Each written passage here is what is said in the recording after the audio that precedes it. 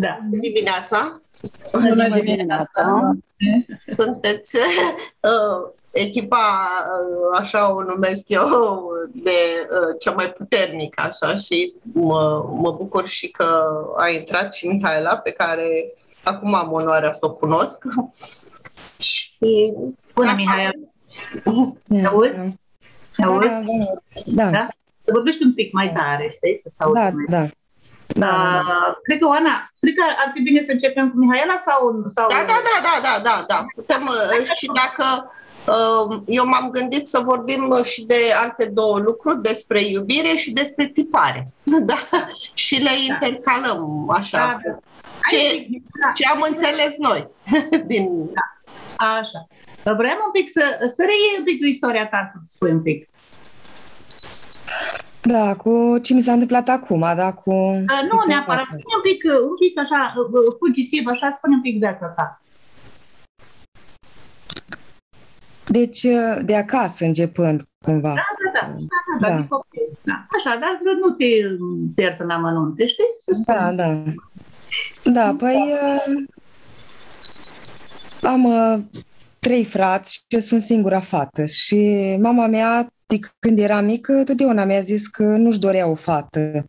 Nu și-a dorit că ea cumva ca să scuze acum, adică sunt mai mare, că fetele suferă cel mai mult în viață, că au cel mai mult de tras. Ea, la rândul ei, nici ea n-a fost acceptată de mama ei ca să...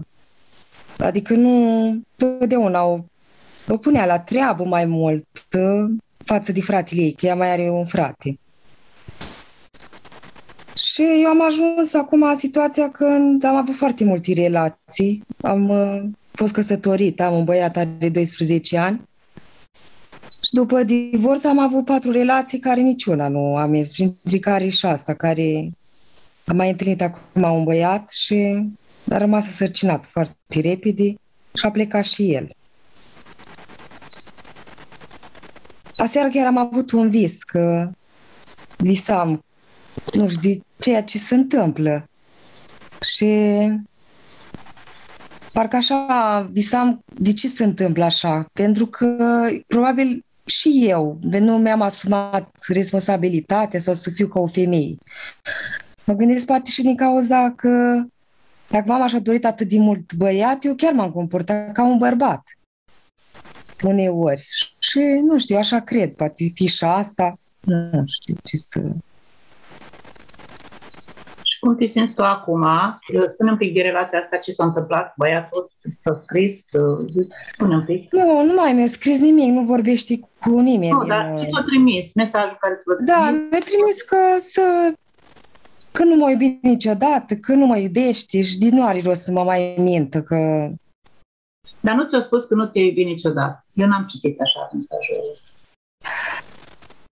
mi-a scris, da, bine, mi-a zis că de ce să te mint și pe tine și pe mine, că de fapt nu am putut să mă apropii de tine. Niciodată nu pot să mă apropii de tine, oricât aș încerca și oricât am încercat. Nu, Simona, eu ce am citit acolo, eu am, am înțeles altfel. El s-a trezit uh, în relație cu, cu o sarcină în plus. Adică a văzut, când s-a trezit el și-a dat seama că va avea un copil, o intrat în panică. Eu asta am văzut acolo în, în, în, în bilețelul da, El mi-a menționat și că nu mă iubește. asta e. Da, da, el a menționat, a zis că nu pot să mă apropii de tine și nu te iubesc. Da, da, deci e foarte lung mesajul. Poate n-ați reușit să-l... Da, așa. Eu de acolo ce am înțeles este că el acum s-a speriat de, uh, de faptul că se simte responsabil prea mult pentru ea. Și în general tinerii sau chiar bărbați în general, uh, ei foarte greu și asumă responsabilitatea, îi sperie responsabilitățile. Bine, dacă era asta, doar putea să zic doar așa, mi-asum responsabilitatea pentru copil și o să discutăm. Nu trebuia să mai menționez, zic că de fapt nu te iubesc și nu te-am iubit, nu mă pot apropia nici de tine, niciodată. Știți, asta e. Și eu zic și la, na, eu trimis mesaj și copil, i-ați văzut că, na, te rog să mă ierți, mami, e o femeie bună. El și aici se contrazice. Știți? Eu am văzut mult respect în bilețea lui la scris față de tine și la mare. Da, nu mi-a scris urât, dar asta mi-a scris că, na, că nu, nu se poate apropia de mine. Că nu găsești... Dar în urma discuției noastre care am avut-o data trecută, uh, simți că s-a schimbat ceva la tine? Da, mă simt așa mai liniștită, dar apoi iarăși mă ia așa o sare că nu pot să-mi revin așa din șocul ăsta. Dar simt că m-am, așa m-am mai liniștit oricum foarte mult față de cum eram când am venit la dumneavoastră. Sunt mai liniștită. Adică încerc să merg mai departe, că oricum trebuie să găsesc soluții ce voi face de acum. Acum nu mai pot să mai Sigur. El oricum nu vrea să discute cu nimeni, nici din familia lui, cu absolut nimeni.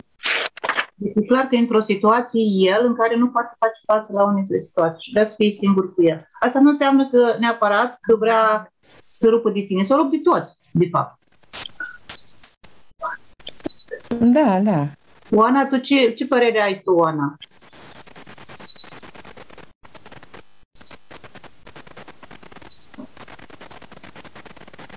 Mă auzi, Oana? Nu se aude. Scuze că nu mi-am dat seama că am oprit microfonul. Uh, Mihala, vreau să, adică o să-ți spun o întrebare, dar nu vreau să o răspunzi din prima, așa, imediat, ci ia-ți câteva secunde, uh, adică uh, să, să vezi un pic în tine, ai spus să-mi revin din șoc. Care este șocul? Dar nu răspunde din prima. Ia-ți un pic timp așa și uh, dacă Da. poți să descrii un pic gândurile și uh, trăirile interioare. Care e șocul? Șocul e că felul cum se purta el cu mine, cum, cum o vorbea, adică nu mi s-a părut a fi totuși, nu zicea mie, intuiția mea că ar fi că și-ar dori să-și bată joc, adică el își dorea o familie, mă dorea pe mine că nu doar prin vorbi, și fapte multe care le făcea, adică. Deci să înțeleg că șocul survine între faptul că imaginea lui dinainte uh, era uh, una care te-a determinat să crezi că el își dorește familie și te dorește și după aceea el a venit de fapt cu acest bilețel, mă rog, și această situație în care a spus nu.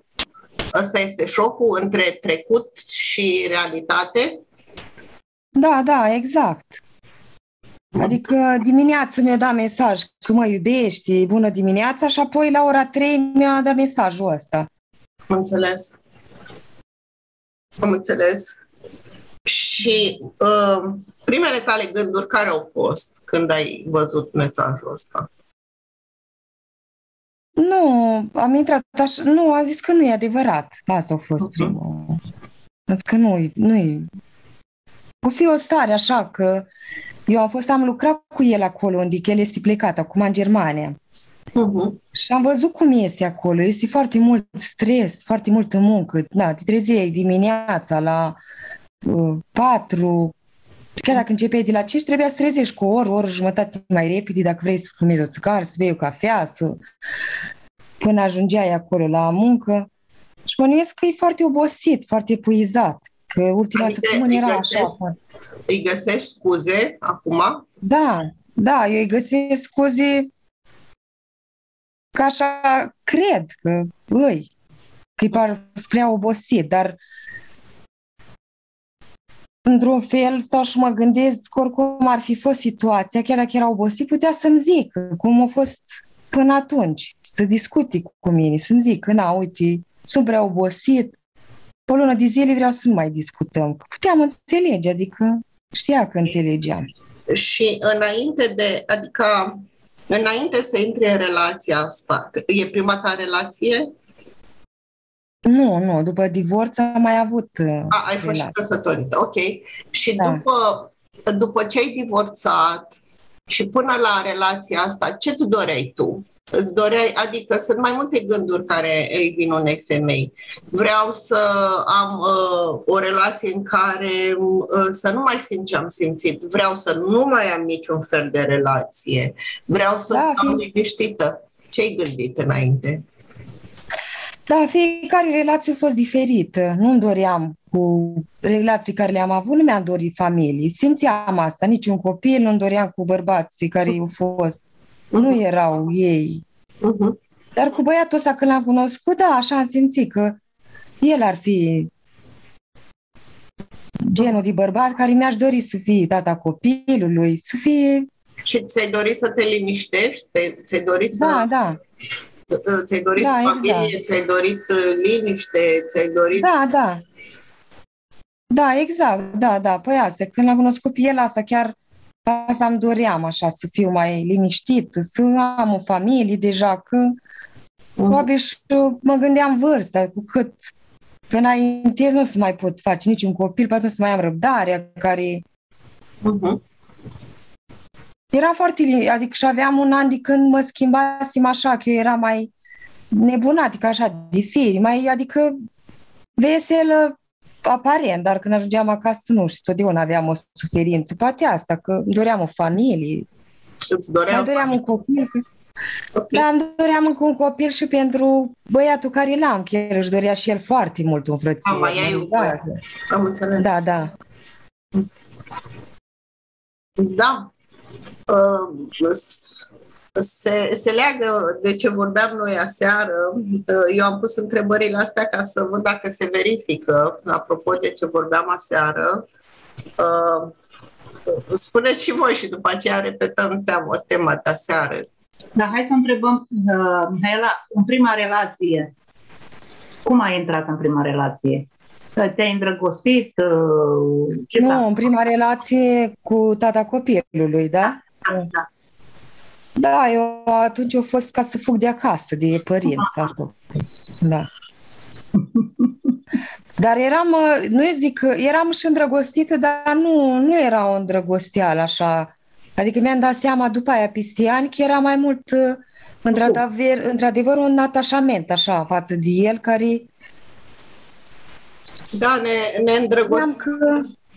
Da, ne îndrăgostim de fapt de de imaginea pe care noi o proiectăm asupra uh, unui potențial uh, uh, partener uh, care m-ar face pe mine să mă simt bine. Deci nu e, noi nu ne îndrăgostim de, de persoana respectivă pentru că nici nu ne dăm voie să-l cunoaștem așa cum e el, uh, cu toate aspirațiile lui, cu toate uh, rănile lui. Nu ne dăm voie și atunci când începe uh, omul să...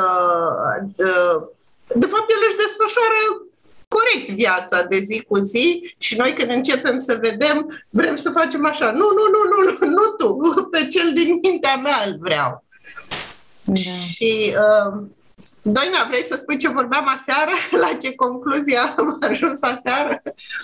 Da, um, ce am înțeles eu că, de fapt, uh, așa zis, îndrăgosteală este o formă de chimie pe care Dumnezeu o realizează ca să vină în fața mea exact cea mai potrivită persoană să mă învețe acceptarea și iubirea. E cea mai potrivită persoană. Acum, fie că mă îndrăgostesc de nu mai știu de mine, fie că o fac rațional, că pot să o fac doar rațional, din, din anumite raționamente. Adică, în cazul meu, de exemplu, Uh, ca și copil, uh, am văzut la două surori dintre surorile mele uh, o viață agitată. Cumnații mei, doi cumnați, erau cu alcoolul, erau agresivi, fizic și verbal. Bineînțeles că în mintea mea de, de fată îmi doream un soț care să fie mai liniștit, mai blând, mai... Deci era un scop în spatele acelei acceptări a unei relații. Bineînțeles că am găsit, am găsit exact ce visam eu, exact ce doream eu. Dar Dumnezeu face lucrul ăsta, deci cumva ne împerechează în așa fel încât uh, să avem uh, lecții comune cumva, adică uh, cel care vine în viața mea să mă ajute să mă învăț lecțiile mele cu care am venit, lecțiile pentru care am venit în viața asta. Dar lecțiile cumva sunt, au și ceva comun. Însă, ca să se poată rezolva, să se poată realiza această învățătură, această echilibrare, în primul rând e necesar ca femeia care are 80% energie, ea, și, care, în care Dumnezeu a pus potențialul de iubire, 80%, că aici e taina pe care n-am știut-o până acum, de la nimeni n-am aflat-o, că femeia este iubirea cu acel potențial mare de 80%, iar bărbatul este legătura dintre mine și Dumnezeu. Adică legătura uh, ca și cum prin el eu pot comunica direct cu Dumnezeu. Uh, acceptându-l bine că Dumnezeu este în fiecare celulă din, din corpul meu 80%, 97%, 99%. Dar uh, el cumva este un instrument care să mă ajute să, să-L accept pe Dumnezeu 100 și să manifest iubirea 100 în viața mea. Deci, majoritatea, cred că 99% din noi femeile, în spatele acelei îndrăgosteli, avem un scop. Să fie așa, să fie așa, să fie așa. Adică începem să-i punem niște, niște ingrediente pe care noi le vrem. Și când începe să se manifeste uh, conform, tot conform voii lui Dumnezeu, pentru că uh, ce am înțeles, cel din fața mea, uh, pur și simplu ia forma interiorului meu. Indiferent cine vine în fața mea, în viața mea, ia forma interiorului meu. Fie că e persoană, fie că e animal, fie că e insectă, fie că e plantă. Deci toate îmi vor arăta ca o oglindă perfectă ce este în adâncul meu, în interiorul meu. Și de asta, înțelegând cumva mesajul care mi-l transmite soțul meu, dacă îl înțeleg și dacă accept că uh, eu mă comport așa cum nu trebuie, atunci pot schimba situația, pot manifesta acceptarea deocamdată, că iubirea e foarte profundă și lucrurile se schimbă în totalitate. Da. Um, vreau să vă arăt uh, ceva, o să vedeți acum ne pe ecran, stați așa. Vedeți pe ecran? Uh, uh, da, da. Uitați ce scrie în, uh, în Dex apropo de iubire, ca să am rămas așa un pic surprinsă. Aha, aha. Deci, iubirea, conform dicționarului, este faptul de a, de a iubi și de a se iubi deci este un sentiment de dragoste față de o persoană, relație de dragoste, amor uh, sau iubit. Sentiment de afecțiune. Mai jos scrie așa. Uitați aici unde afecțiune puternică pentru cineva uh, sau pentru ceva. Uh, atracție față de, de cineva, poftă, dorință, relație sexuală, ai plăcea foarte tare, a avea o relație sexuală. Ce vă spune vouă după ce citim ce înseamnă iubirea din uh, confort dicționarului? Uh, pentru mine sună doar uh, ego. Exact. Deci atracție, ă, sentiment puternic față de cineva, afecțiune puternică pentru cineva sau pentru ceva. Și gândiți-vă că avem aceste uh, definiții, concepte care sunt în interiorul nostru de mii de ani. Uh, iubirea înseamnă poftă, iubirea înseamnă dorință, uh, Sentim- iubirea înseamnă mai jos aici sentiment de natură erotică pentru o persoană de sex opus. Gândiți, când am citit da. aici, zic, uitați-vă cum spune Marius că ne este, cum se introduce în interiorul nostru ego, atașament sufletesc, uitați aici, atașament Doamne. sufletesc. Da? Care poate fi simpatie, Da, da, da. prietenie, atașament puternic față de cineva sau ceva. Deci, eu când am. uh, uh, Gândiți-vă că noi trăim conform acestor. um, Definiții, da. acestor Da. concepte, acestor programe care sunt foarte puternice din moment ce în interiorul meu, că de asta vreau să, uh, um, să vorbim cum, cum vă explicați voi aceste programe, tipare, pentru că noi vorbim despre ele, dar nu știu dacă avem o explicație intrinsecă de fapt ce este acest program, acest uh, tipar. Pentru mine este, oricum este nevăzut. Da, că nu, nu, nu-l vedem. La fel cum e un soft la calculator, el rulează, dar nu-l vezi.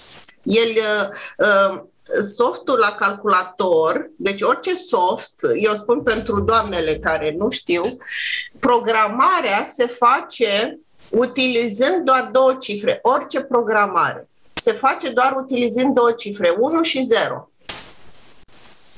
Și un programator învață uh, să mânuiască, deci este un program acesta binar din 1 și 0, care e masculinul și femininul, dacă stai să, le, să te duci în partea aceasta ezoterică, și învață cum să pună 1, 1, 0, 0 înseamnă ceva și va ieși ceva, spațiu înseamnă altceva. Bineînțeles, se mai adaugă uh, apostroful și nu mai știu ce. Am văzut doar puțin la, la cineva cum programa programul meu de contabilitate. Și bineînțeles, la tine apare altceva. Adică la mine apare programul de pe contabilitate pe care eu funcționez, dar programul din spate nu-l știi. La fel îmi explic și cu aceste tipare programe, una că sunt nevăzute, dar nici nu știm că uh, ele ne folosesc la ceva, pentru că îți folosesc la ceva și uh, mi-am dat seama că cel mai bine ar fi să observăm tiparul și, de fapt, la ce îmi folosește acel tipar, pentru că el acolo nu e pus degeaba. Asta este clar. Din moment ce vine pe o, o, pe o linie genealogică și e transmisibil, uh, de, el nu e pus acolo degeaba. Deci el a- este pus cu, uh, cu un scop foarte bine definit care este benefic pentru noi. Eu așa am înțeles, că în momentul în care depășești acel tipar, ceva în interiorul tău iese la iveală, adică un har, uh, o, o stare de liniște. Deci, uh, tiparele acestea e foarte bine să le urmărim uh, cum, cum funcționează, care e tiparul. Și o să uh, spun după aceea despre tiparul de respingere, dar uh, vreau să spuneți și voi cum, e, cum vă explicați tiparele. Asta e... Noi confundăm iubirea cu atașamentul. De fapt, Da. atașamentul e cel și noi, e foarte greu ne dăm seama că e atașament.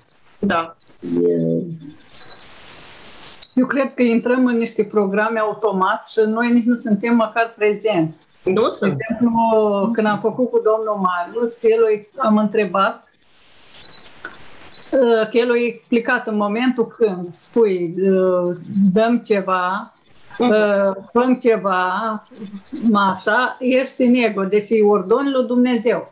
Da. Atunci eu am întrebat cum să facem și cum să ne exprimăm. Și el a explicat scurt. Nu nici într-un fel, fă tu. Da. Ieri am experimentat, aveam treabă de făcut afară cu soțul uh, și mereu, deci era cumva o treabă mai mult de bărbat. El dacă a spus fă tu, gata, am trecut eu. Nu am dat niciun ordine. M-am mirat la sfârșit cât de mult, cât de multă treabă am făcut, nu m-am obosit, dar am făcut până într-un punct și la un moment dat o, o început el să facă mai mult ca mine. M-am mirat, auzi, dar știți cum? Am volbat niște ochi la mine, am zis că, Doamne, că... deci absolut nimic, indiferent ce trebuia făcut, făceam eu. Cu toate că am făcut treaba afară de, aveam de făcut niște porumbi de dat printr-o mașinărie. Mhm. Și am terminat, deci cam în 3 ore am făcut 12 sai de grăunță. Deci de grăunță, așa, plus că am pus înainte mânsa și știuleță, deci a fost o muncă, nu așa simplu. Da. Dar atât de ușor mi s-a plă- părut și nu m-am obosit absolut deloc. Când am început eu așa și cred că dădea mai încet, atunci a venit el și a făcut el aproape tot și am spus, uite cât e de important, dar cum să nu ai în interior problema aceea? Să Că nu degeaba pe afară tu nu-i spui. Dacă în interior, când am văzut la început, dădea să vină și am zis că na, Dumnezeu alege să stea, să se uite. Perfect. Eu înseamnă că trebuie să fac. Dar de, și detașarea asta, eu așa cred, iubirea. Trebuie exersată acceptarea ca să Da. putem ajunge în stadiul ăsta. Da. Deci, în momentul când noi uh, înțelegem acceptarea a, a, care face parte din iubirii, acceptarea are foarte multe laturi. Să accepti, să-l accepti pe celălalt așa, a iubi. Noi înțelegem că le iei în braț, îl strângi și uh, îi spui, mă iubești? Da, te iubesc. Doar așteptări. Dacă ne-ai scris că nu mă iubești, gata, s-a terminat pământul. Da. Păi da, e- el mi-arată și în interiorul meu. Eu dacă aș fi întreagă, asta pe mine m-a foarte mișcat, uh, descoperindu-mă pe mine, personal.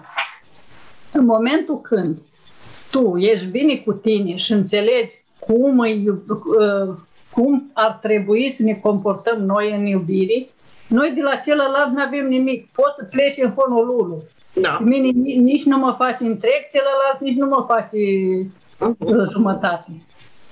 Da. Uh, Noi nu ne dăm seama că, de fapt, în momentul când vine o problemă, problema aceea e doar în noi, în interiorul nostru.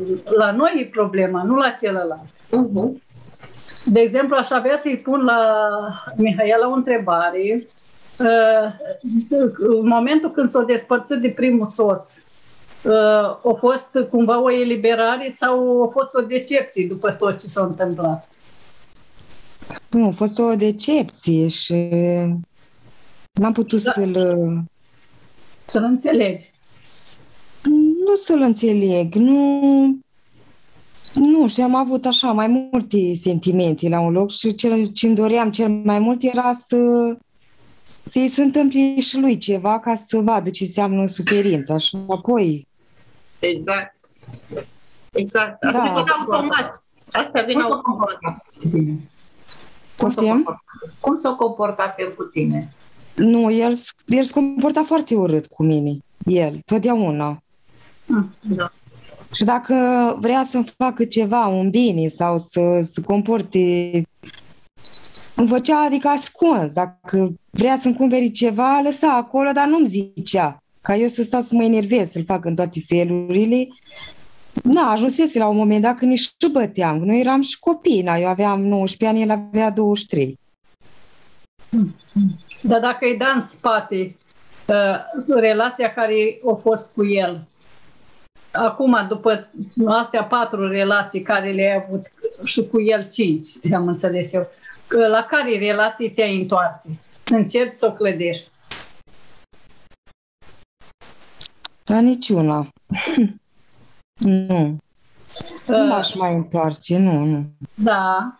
Uh, Dar uh, primul tău, De, fi, da, primul tău de fiecare relație am avut câte ceva de învățat, total diferit. Una față de cealaltă. Nu a fost același lucru să-l învăț. Și dacă ei lua pe toți patru și îi pune lângă tata, ar semăna cu tata?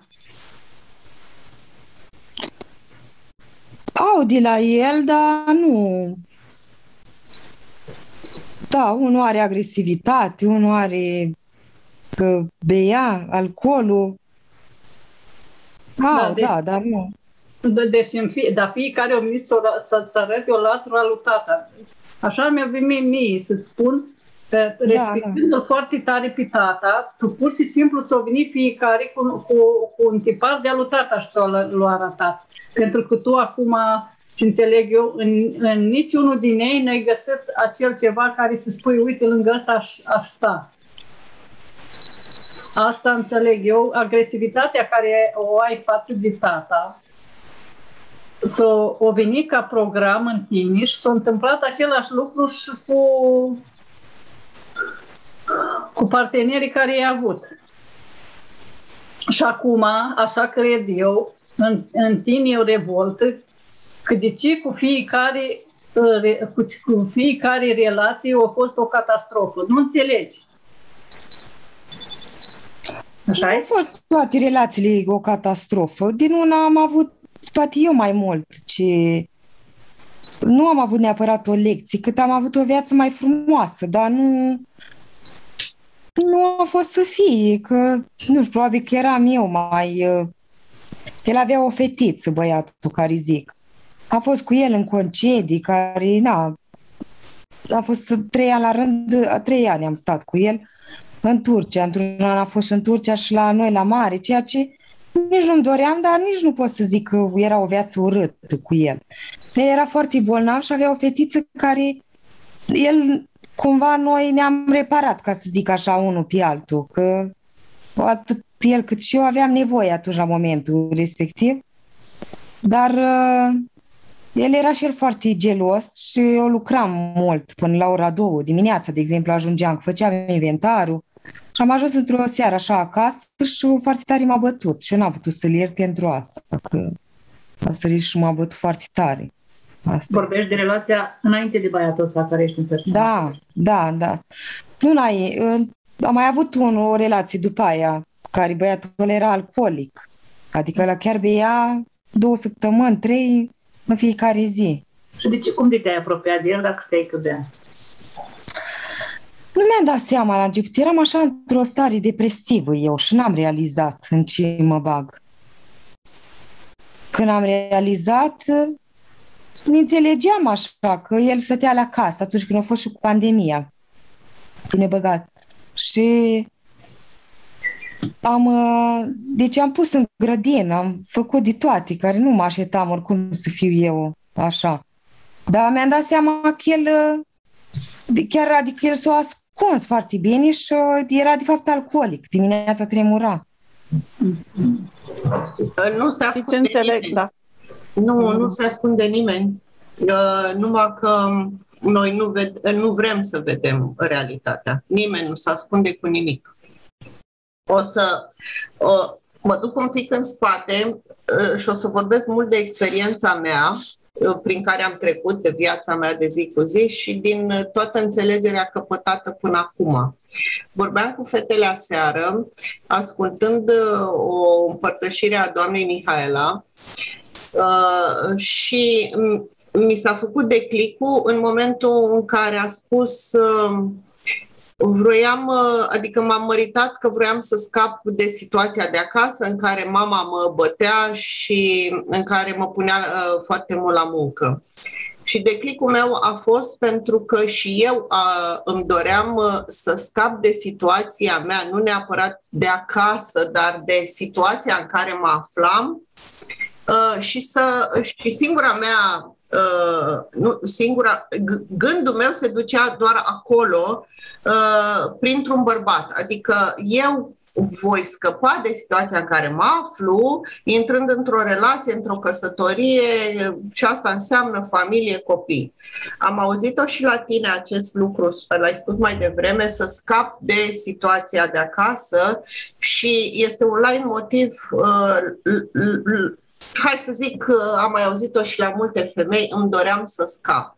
Și ce am observat? Că în momentul în care îți dorești să scapi de situație, vei primi o situație mai nasoală decât aia. Asta este clar.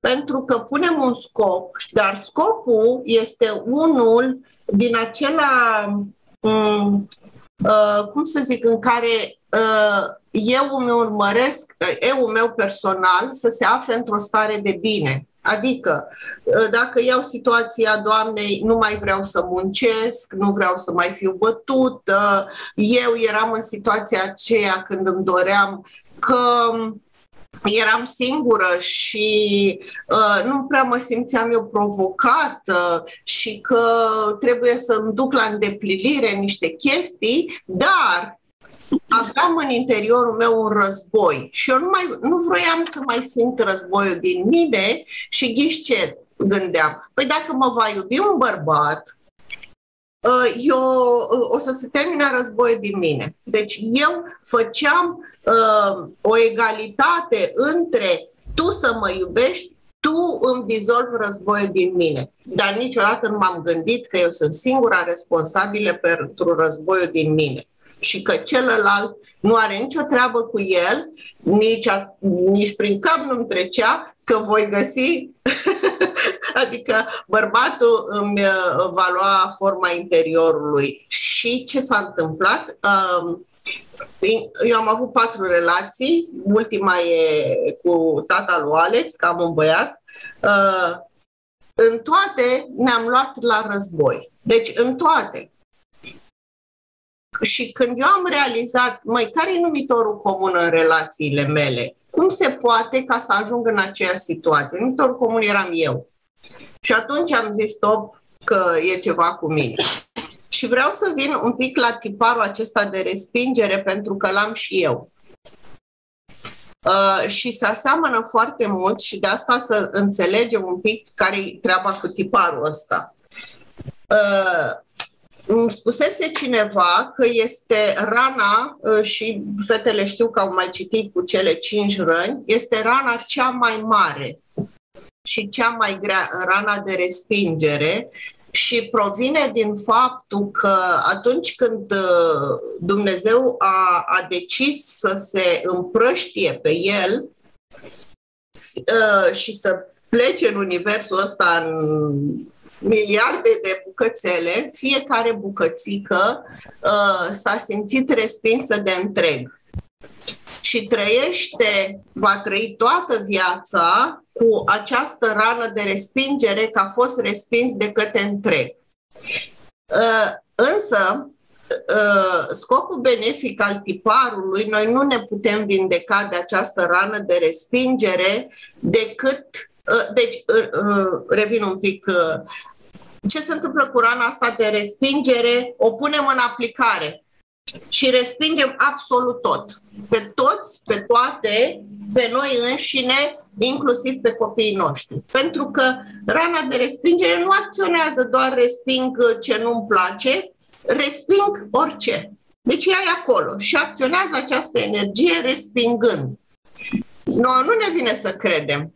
Cum adică, dar am născut, dar uh, iubesc copilul. Dar când stăm cu noi, o să vedem că există o respingere dincolo de asta, de ce mi se întâmplă mie toate chestiile astea. Uh, și atunci când eu spun că uh, de ce mi se întâmplă, înseamnă că resping tot și uh, resping pe Doamne. Și uh, am observat o, o chestie. Uh, Mihai a spus, nu și-a dorit fată.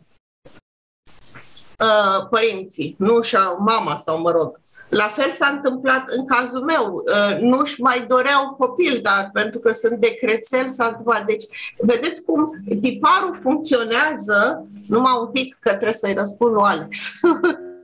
Scuze.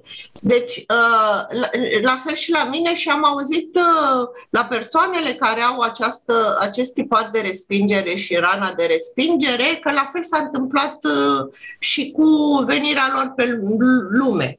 Deci, scopul benefic al acestui tipar e felul cum Dumnezeu ne învață iubirea și noi nu ne vom vindeca de respingere, adică toți ceilalți ne vor respinge și iubitul tău ți-a spus nu mă pot apropia de tine, la fel mi s-a întâmplat și mie, uh, sub aceeași formă. Nu te pot iubi, ești frumoasă, ești bună, e... nu mă pot apropia de tine. De ce? Pentru că avem acea energie a respingerii. Și nu, nu o să putem avea o relație sănătoasă cu cineva decât iubind noi, cum spune Marius, orice ar fi. Fără să facem separarea, mi-a făcut, mi-a dres, mi-a... Așa vindecăm rana de respingere, pentru că e foarte puternică.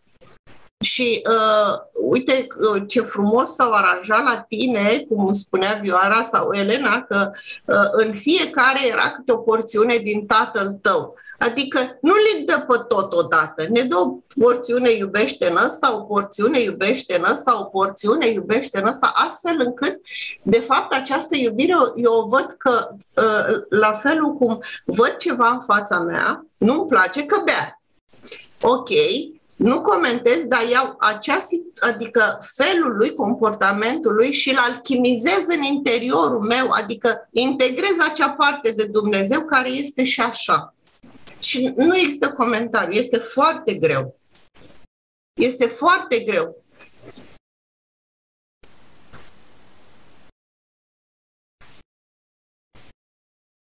Explic un pic mai pe larg să înțeleagă și Mihaela. Cum integrez? Explic un pic mai... mai adică, uh, eu n-am avut în relațiile mele, uh, partenerii problemă n-au avut cu alcoolul, în schimb au avut, uh, au avut probleme, n-au avut probleme, mi-au arătat mie, uh, am fost înșelată, da? Uh, toți aveau uh, alte femei, nu una mai multe, da? Ei, această chestie a fost atât de șocantă pentru mine, uh, ca să vedeți cum mi-a dat și peste ego, uh, la momentele alea în tinerețe te crezi că arăți într-un fel, da? Deci ești tânără, ești frumoasă, ești, te crezi tu. Ghiciți ce? Toți partenerii mei m-au înșelat cu femei mult mai în vârstă decât mine. Mult! Și uh, și mie nu-mi plac persoanele supraponderale. Toate femeile pe care le-au ales ei erau supraponderale. Deci pentru ego-ul meu, care mă credeam frumoasă, tânără, zic, cum adică ei s-au dus cu persoane, cu femei mai în vârstă și, cum spuneam eu, cu, cu hipopotam? Ei, e durerea și mai mare. Durerea, deci, a fost cumplit pentru ego, deci m-a, m-a îngenunchiat. Și atunci, domne, da, unul, ai înțelegi, al doilea la fel, al treilea la fel, al patrulea la fel, deci ce e asta? Același tipar și deci eu am tiparul, nu-mi plac persoane supraponderale, le aveam. Uh, mă credeam că eu sunt, uh, eu nu înșel, adică eu nu trădez, aiurea, că o fac la greu. Uh, și atunci spunea, nu că tu, uh, credeam că eu nu mint și după aceea mi-am dat seama cât de mult mint, uh, că eu nu, ce mai credeam, că eu sunt, uh, adică dacă am spus o vorbă, o duc până la capăt, adică un om de cuvânt. Și mi se părea că ei când fac chestia asta nu sunt oameni de cuvânt și mi-am dat seama că nu e adevărat și eu sunt la fel. De multe ori am renunțat pe parcurs că nu mai îmi place sau că a apărut o frică, nu mai vreau să mă implic. Deci, și ca să vin Uh, am luat uh, această fel a lui de a fi că îi plac femeile, că uh, pentru el nu există, eu zic pentru el, pentru că e același prototip de bărbat, l-am întâlnit.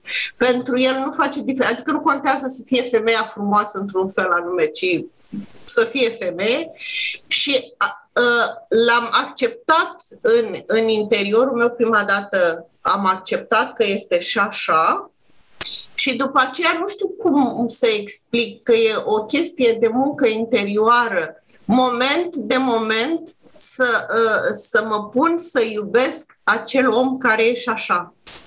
Adică, da, e o muncă interioară. Uh, și asta am observat cum venea ca o hidră din aceea. N-ai ce să iubești. E un nenorocit. Și lăsam gândul ăla să plece și eu rămâneam în aceeași liniște cu mine ca Um, ca persoana aia, uh, ca Maica Domnului cumva, da? Așa, adică fără comentarii. Și stăteam acel, asupra acelui aspect uh, al bărbatului, ca de fapt e al meu. E al meu, e aspectul meu, e în interiorul meu. Uh, și uh, Marius spune de foarte multe ori numai că nu luăm seama și uite, am să fac un share screen iar cu voi, să urmăriți un film uh, Da, cred că nu pot. Uh, un film. Unde e? Da. Nu, nu pot acum. Uh, un film ne care se trimite cheamă, ulterior. Da. Da, Ne trimiți uh, mai târziu, da. da, se cheamă Secretul lui Zohar. Chiar vă rog să, să-l urmăriți și îl spun uh, și pentru ceilalți care o să asculte. Este un film în două serii în care uh, arată succesiunea sufletului unui om în, în multiple vieți anterioare. Adică astăzi este slugă, uh, după aceea este rege, după aceea este victimă uh, de război, dar tot el este și călău de la Auschwitz și um, uh, trebuie să-l urmăriți și de mai multe ori filmul ăsta, pentru că așa înțelegem că uh, dacă, uh, așa am înțeles și eu, dacă acești bărbați mi-au făcut lucrul acesta, înseamnă că eu sigur am făcut lucrul ăsta. Și deci nu este uh, am respins în altă vieță anterioare, m-am uh, comportat așa de, uh, uh, de simplistă, adică să nu dau importanță, să, să mă joc cu viața, să mă joc cu oamenii și normal că acum în viața asta trebuie să primesc, să simt eu ce au simțit ceilalți. Că arată în film, arată foarte clar cât de greu te împaci într-o viață în care uh, tu trebuie să trăiești ce ai făcut într-o viață anterioară. E foarte greu. Cu aceleași persoane, de fapt. Cu aceleași persoane. persoane. Da, da, da. Primim înapoi ceea ce am făcut până când integrăm toate aceste aspecte, că și noi am făcut chestia asta. Și singura, uh, vedeți, asta e parcurs, așa îl înțeleg eu, al divinului, că nu scăpăm fără iubire. Sunt singurele modalități în care eu pot să ajung la iubire, respingându-mă ceilalți și eu integrând în mine că de fapt și eu am făcut așa și să nu mai am comentarii. Iubit, adică acolo nu e nimeni, pare spune, nu e nimeni, e numai divinul care îți dă înapoi tot ceea ce ai făcut tu. Oana, ce tipar vezi tu la Mihaela care tot îl respinge? Respingerea. E tiparul de respingere. Deci, Respingerea ce? Respingerea ce? la tot ce înseamnă viață. Că tiparul ăsta nu, nu vine uh, pe resping alcoolul, nu, resping însăși pe Dumnezeu care e în toate aspectele astea și bineînțeles noi cum uh, ego-ul nostru uh, crede că scapă din tiparul de respingere căutând confortul prin iubirea aceasta de poftă, dorință, comoditate, să fiu iubită, să fiu plăcută, drăgălită, dar ăsta ego ne pune tocmai ca să, uh, când ai să înțelegi, Mihaela, că nu, nu trece asta decât înfruntându-te tu pe tine și iubind orice ar fi. Ce ți iese în față, te, adică ce ți iese ție în față, mie mi este altceva. Ce ți iese ție în față trebuie să iubești fără Adică, adică situațiile care îi vin. situații. Să accepti, să accepti că tot ce vine din față e doar Este interiorul ei. E interiorul ei, da, da, da. Eu am spus-o așa mai larg ca să vă dau exemplu și din viața mea ce... Da, iubirea înce- înseamnă să acceptăm, indiferent ce vine din față, că integrând acele nemulțumiri da. care le vedem noi ca și nemulțumiri, tot să face câte un pic, câte un pic liniște. Da, Și în momentul da. când ai liniște mai multă, atunci Da. foarte ușor accepti acele lucruri. Și știți ce mai uh, înțeleg eu acum? Nu știu ea dacă acceptă și înțelege că noi venim în vieți succesive.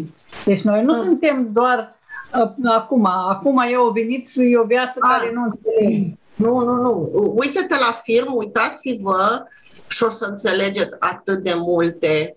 Eh, Filmul este după o carte care se cheamă Cartea lui Zohar. eh, Filmul găsiți, vi-l dau eu link că l-am aici chiar pe ecran eh, și eh, e o carte eh, care e foarte greu de găsit, e o carte interzisă tocmai pentru că uh, așa înțelegem multe despre noi ca omenire și uh, te ajută foarte mult când înțelegi că, și cum spune Marius, uh, uh, dacă într-o viață anterioară ai fost darnic, uh, uh, te-ai limitat, uh, te-ai restrâns, ai fost, n-ai fost înclinat spre bogății, în viața asta ți se permite să ai cum să zic, să ai o situație materială mai bună până la o limită, dacă între măsura nici aici. Dar dacă în viața cealaltă tu ai beneficiat de, de bogății, de un trai bun, acum în viața asta trebuie să experimentezi opusul.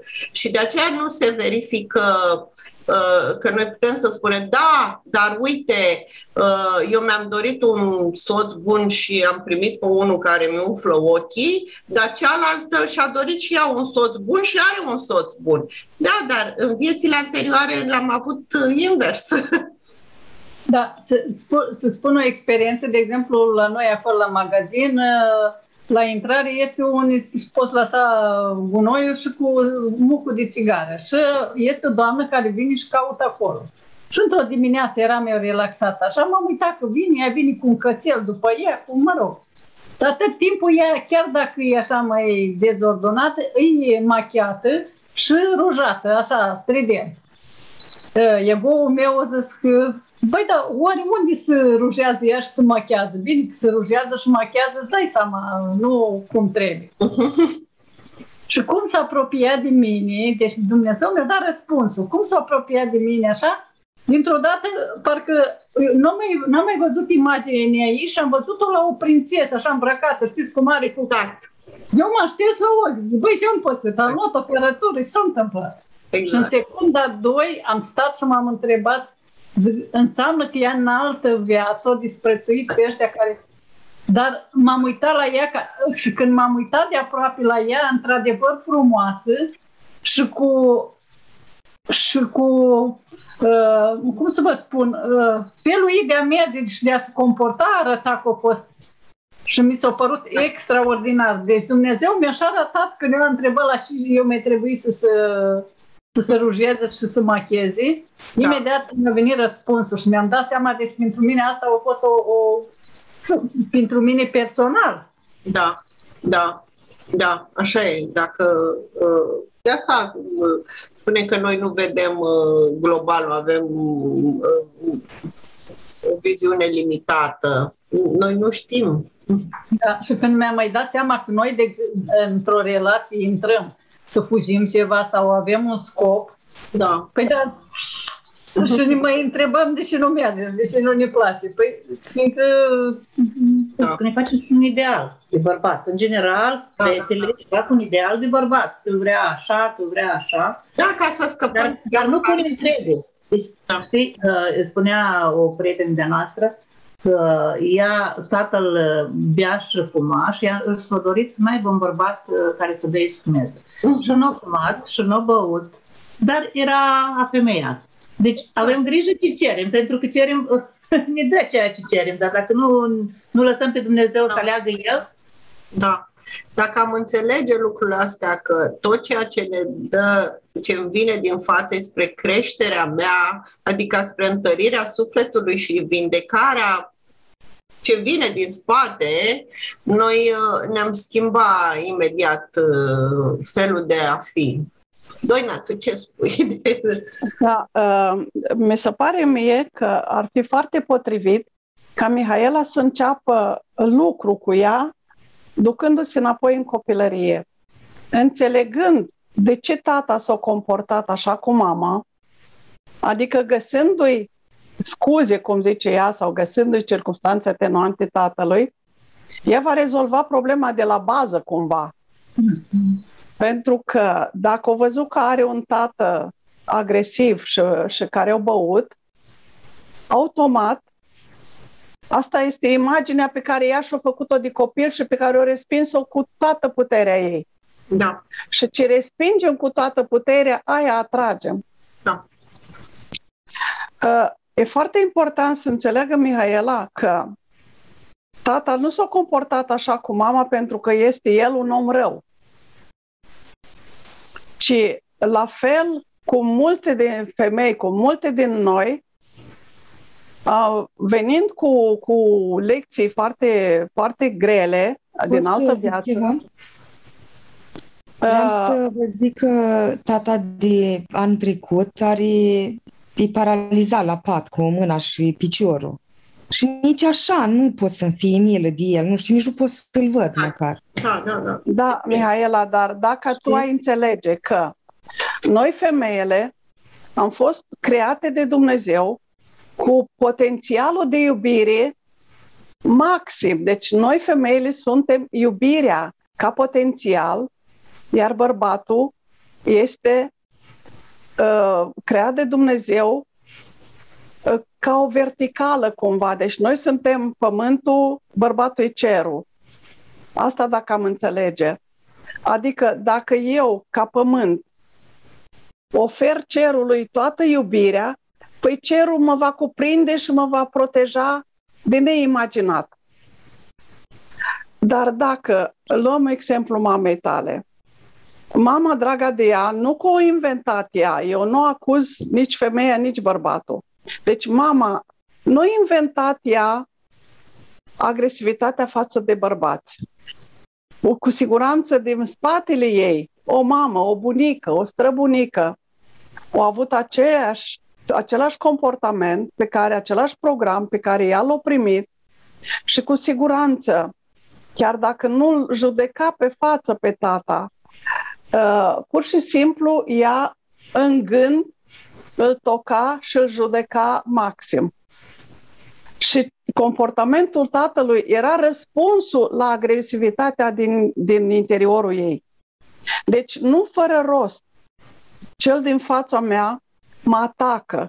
El mă atacă cu armele din interiorul meu, mă atacă cu, cu așa zis, răutate din mine, cu, cu respingerea mare a mea.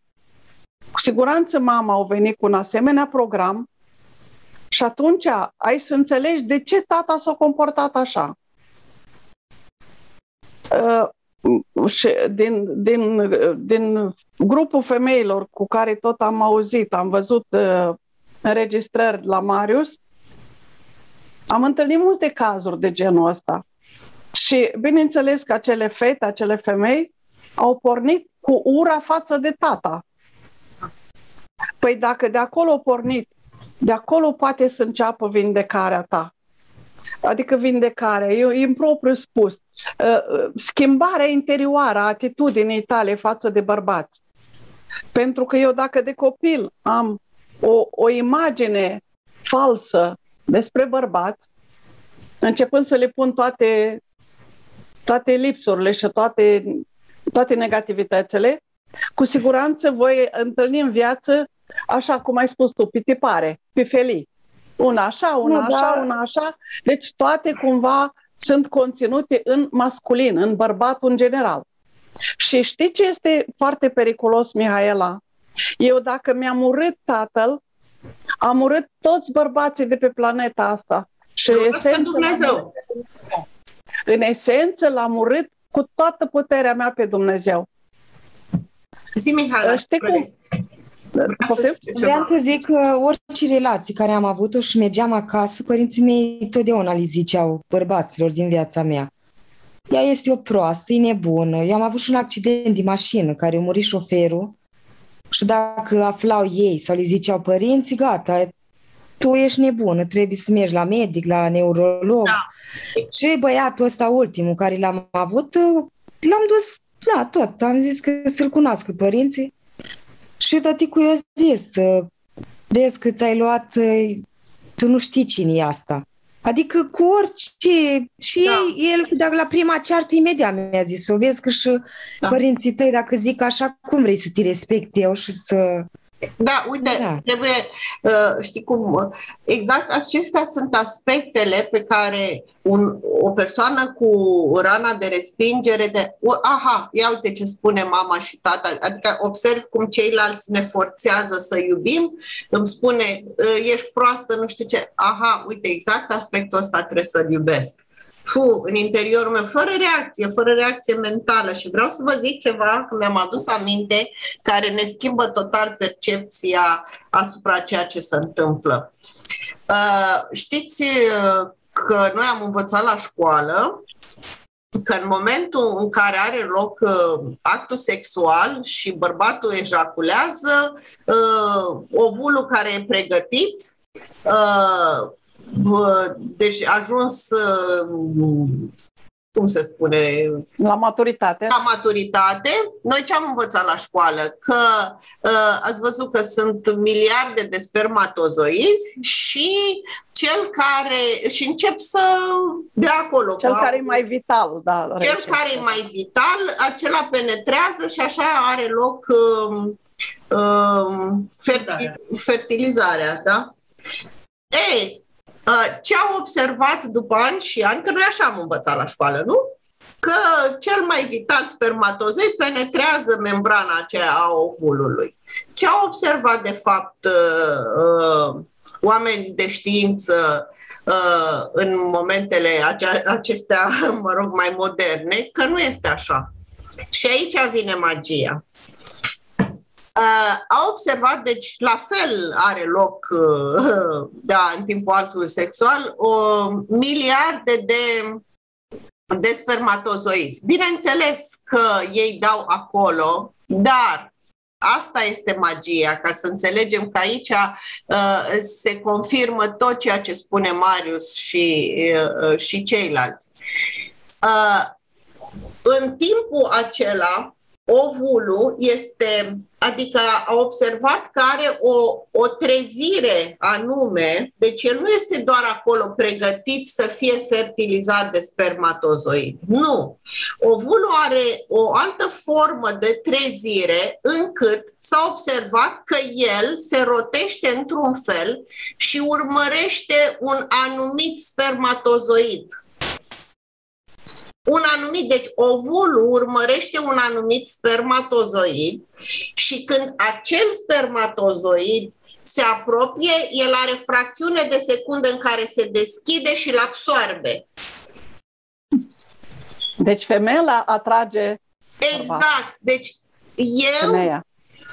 eu știu, adică am în mine ce trebuie să îndeplinesc pe pământ ce tipare am de depășit, ce am de făcut. Deci, ă, totul este uh, jocul Dumnezeu deja creat, dar noi credem că e voia întâmplării. Nu este.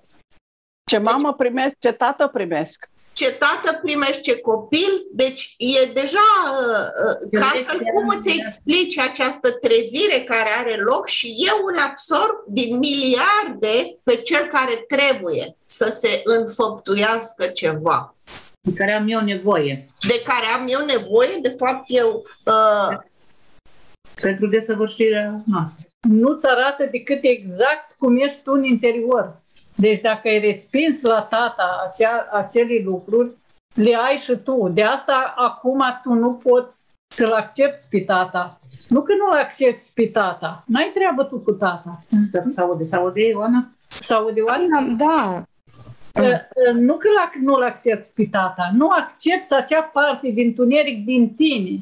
Deci nu, nu-i vorba despre tata. Tu când te uiți la tata, tu de fapt te uiți la tine.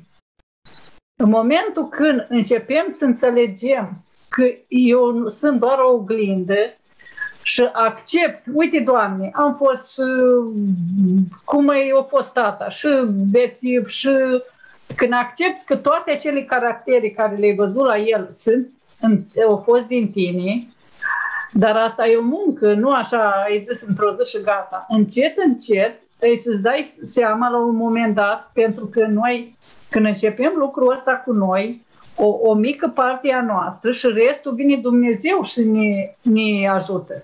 Nu suntem singuri pe drumul ăsta. Da. Tot și în momentul când vei înțelege cu adevărat că așa este, atunci îți vei da seama. Acum apare, știi, așa, că acum ți-am spune niște niște fantasme. nu, nu, nu, că eu mi-am dat seama de multe, că de asta și mama toate se comporta așa, totdeauna am reproșat că eu semăn cu tata așa.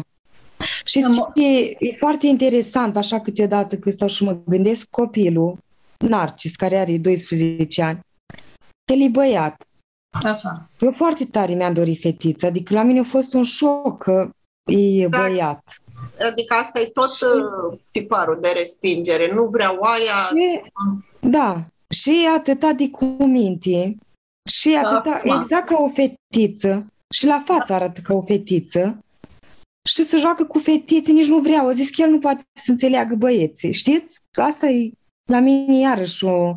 ce nu pot înțelege. Păi, e, asta că îți arată... O face așa, da. de preotul. Când era mic, tot, uh, știți cum eu mă duceam la preot și îmi plăcea să, și mergeam cu el.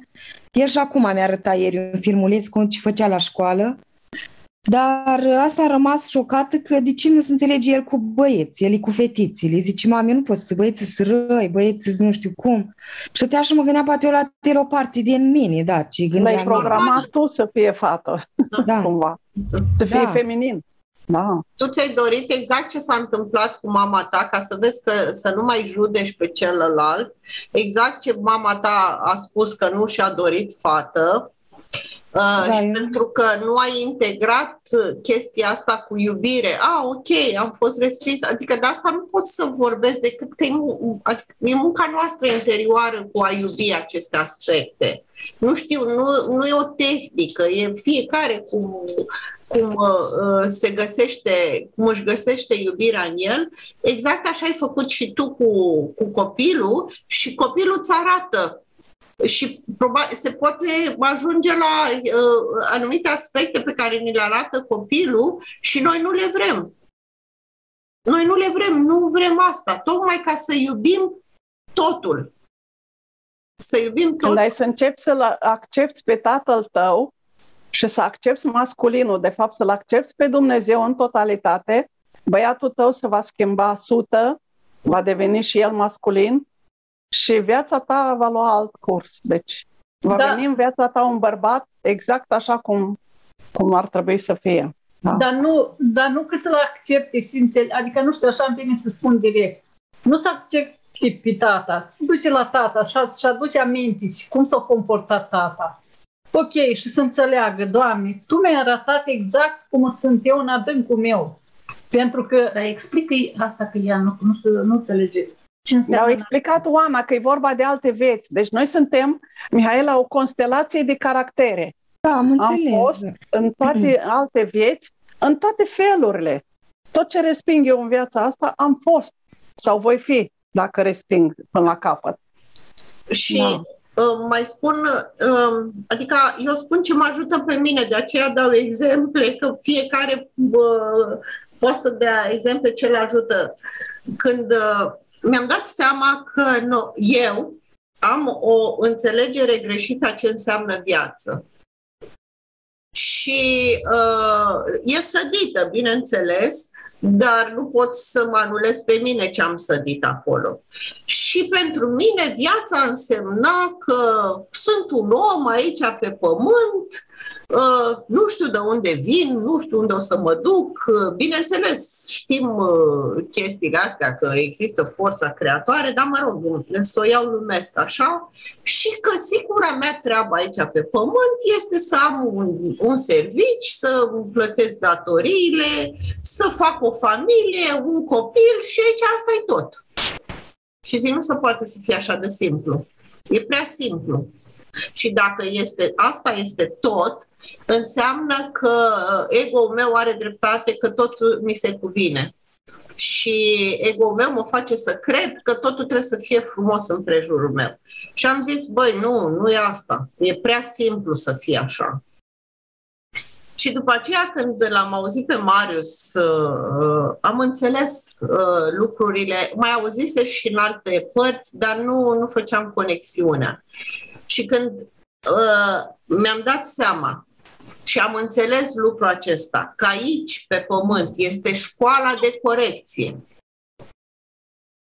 Păi dacă eu vin la o școală de corecție și am luat așa imaginea, dacă pe mine, fetele știu că pe vremea noastră chiar existau școli de corecție, da? Unde copiii da, da. până în 18 ani, uh, cu comportamente din acestea deviante. delicvente, deviante, erau dus la școala de corecție. Păi acolo era bătaie, acolo era asprime, acolo erai pus la punct. Și atunci când am înțeles că planeta Pământ este o școală de corecție sau am mai luat-o eu ca imagine, mă, dacă fac ceva și ajung la pușcărie, ok? Păi acolo nu pot să spun nu-mi place asta sau trebuie să fie într-un fel anume sau natura trebuie să fie nu știu cum sau de ce e mizerie pe stradă sau de ce oamenii sunt așa. Pentru că e școală de corecție. Totul mă va corecta pe mine. Toți sunt profesorii mei. La, exact la școala de corecție, ce însemna pedagog, profesori erau de o asprime, da? Ce auzisem și eu, că erau foarte aspre astfel încât... Și atunci când am înțeles acest lucru, că sunt, suntem la școală de corecție, toate infosele mi-au trecut. Păi nu mai e ce infose, înseamnă că cu toții care ne aflăm aici avem de îndreptat la interiorul nostru. Avem de îndreptat. Eu așa am înțeles și mă ajută pe mine. Avem de îndreptat. Da, exact așa e. Da, și n-am ce să comentez că soțul, copilul e nu știu ce, stai așa, deci am de îndreptat aceste aspecte și ce înseamnă aceste aspecte? Când te prinzi, Mihaela, că ceva nu-ți convine, aici e problema, la tine, adică aici. Ce nu-mi convine? Că nu știu ce, a, aici e problema. Dar în același timp, atât de frumos o explicat uh, Cristina în uh, tabăra de la Craiova. Um, că noi, ca femei, suntem deja perfecte în esență. Ah. Deci Dumnezeu nu ne-a creat aiurea. Nu, nu. Deci, în esență, suntem iubire. Uh-huh. Și faptul că ne-am îndepărtat cumva de iubirea, de sursă, de creatorul nostru, Pur și simplu ajungem la un punct când nu mai suportăm rătăcirea asta aiurea, rătăcirea, îndepărtarea de care, îndepărtare de Dumnezeu, de iubirea ca esență, pur și simplu când nu mai suportăm, facem drumul de întoarcere cumva, înapoi către sursă, exact. către iubire, către Dumnezeu. Exact. Exact. Da, ă, înțelegând că de fapt în noi avem tot potențialul deci avem ca potențial iubirea întreagă. Și așa de, nu știu, de, mi s-a părut atât de sugestivă o, o exprimare că sunt, sunt ca o picătură de apă din oceanul infinit, da. care e Dumnezeu. Deci, eu nu, vom, nu mă voi simți uh, confortabil, nu, vă, nu mă voi simți bine decât atunci când mă întorc înapoi la sursă, la ocean. Altfel, risc să, să mă usuce soarele, să mă distrugă cineva sau ceva. Deci, da. întoarcerea la iubire, dar iubirea, eu așa am perceput-o că este atât de, de infinită și de profundă, încât să fac măcar primul pas, înțelegerea și acceptarea a tot ce mi-aduce Dumnezeu în față. Că nu mi-aduce fără rost nimica. Păi... Nici părinți care sunt așa cum sunt, nici nici ceilalți care apar în viața mea ca relații. Nimic nu-i fără rost, toate sunt pentru ca eu să învăț reîntoarcerea la Dumnezeu, reîntoarcerea la iubire. Și de fapt, Asta e esența. De fapt, când spuneai tu, Ana, că e școală de corecție, adică nu trebuie să o vedem că Dumnezeu este aspru și A, El ne iubește. Este ca autoreglare. Deci, da. o autoreglare a noastră automat se face. Pentru că da. nu suntem pe drumul bun. Da. Și atunci, automat, să, să facă reglări, reglări automatic. Cum mă duc pe, pe șanț, cum vine reglarea să... Exact. Deci Dumnezeu ne iubește infinit, de fapt. Nu El ne, ne pedepsește, nu El ne judecă. Păi el, el se experimentează pe el, da. Și, și, și apropo de asta, mai e, vi recomand, este un film de desene animate, se cheamă Vaiana, dar e o alegorie a femeii care trebuie să se întoarcă la iubirea din ea. Uh, și acolo exact sunt aspectele astea prin care noi uh, ne dorim uh, uh, să experimentăm iubirea prin bărbat. Noi credem că doar așa, dar de fapt acolo își arată cum uh, cum poate deveni o femeie care își închide iubirea și a devenit, uh, fiind desene animate, au putut să realizeze, a devenit, uh, deci era vulcan care exploda și pârjolea totul, femeia, da? Și eu m-am recunoscut acolo. și nu lăsa pe nimeni, adică devenise un monstru, un monstru de lavă așa și de pământ și nu lăsa pe nimeni să se apropie și pârjolea totul. Și eu îmi cunosc starea asta, că nu lași pe nimeni pentru că te închizi iubirii și cum a reușit uh, să, să se vindece, de fapt, lăsând la o parte această idee că uh, bărbatul să-mi dea, și a avut grijă de sufletul ei și a deschis iubirea și atunci a venit bărbatul adevărat. Până atunci veneau niște bărbați din ăștia uh, flușturatici, uh, cu capul nor și așa închis iubirea, a devenit monstru ca după aceea să-și revină. Deci o alegorie splendidă și tocmai da. de drăguță că e desene animate. Da. Știți, înțeleg eu, de fapt, bărbatul care vine în relații, eu cred că el nu e așa. El ia, el ia forma interiorul da. nostru. Totul. Da. De exemplu, unul din parteneri nu li mai știe viața, sigur nu s așa. Nu, nu, nu, nu. În altă relație, adică în altă relație nu, nu se comportă tot așa? Nu, păi eu vă spun de la, de la tata lui Alexandru. Deci eu când uh, ceea ce îi, uh, uh, îi reproșam eu lui, ce, de unde porneau toate chestiile, dar oricum porneau din mine, uh, el este medic militar. Și cumva, uh, când uh, eu aveam niște pretenții că dacă ești, uh, ai postură din aceasta după niște idei ale mele, uh, trebuie să fii acasă, nu știu cum, militar și acasă, adică să faci, să dregi, să, să faci tu toate. Ei, el acasă fuma, era un om de lume. Și zic, cum așa? Adică uh, uh, nu pui mâna să faci? Irresponsabil. Da, nu, și nu înțeleg. Și, dar el își respecta bărbăția. Adică bărbatul stă acasă, stă la televizor, fumează, avea un tabiet, așa, își punea un whisky, vorbea și zic, nu, acasă trebuie să faci, spune mâna ta tot de iarba, schimbă parchetul. Deci eu eram cu ordinele. Vă dați seama să-i dai tu la un militar ordine, tu femeie, pe bune. Uh, și el uh, are un vocabular vulgar. Și de nu-mi băga și îmi scotea pe toate părțile. Și eu asta uh, Dar cred, Oana, că scoteai tu ce era mai urât. Exact. Păi da, vă dați seama... Scoteai din el vulgaritatea asta. Care... Și vă dați seama ce, ce urât... Uh, uh, și de aici a început scandalul, că de ce mă înjuri? Bun. Și începeau scandalurile. Și el lua câinele și pleca. Mă lăsa și pe mine. Ei, până când s-a ajuns la chestia să nu mă mai atingă deloc și când dormeam în pat, se ducea cât mai departe. Așa și a zis doi bărbați în casă, nu se poate. El a, de la el am auzit prima dată chestia asta. Când ne-am despărțit, am, am zis așa, na, n-are, nicio femeie nu poate să stea cu el. Ghiciți ce? Și în ziua de astăzi este cu o femeie extraordinară. Dar el nu, nu o jură. N-a jurat-o niciodată. Că el mai are chestiile astea ca bărbatul, de, bă, dar față de ea nu. Și atunci de unde e chestia? N-a fost din mine? Totul e din mine. Și cum scoteai, adică... scoteai diavolul din el. Exact.